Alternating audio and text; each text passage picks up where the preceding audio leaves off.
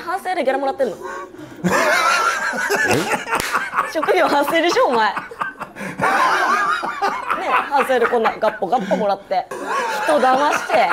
あの頃のように戻って普通に遊びたいやろ。なんか買ってあげるしやなパパも。金で解決すると思ってんの？そんなんお前パパ活かよ。パカツ娘の心金で買おうとしてんの？無理だよ。何言ってんの？その汚え金はいらないんだよ。謝罪で稼いだ金なんて。切れ味がすごい。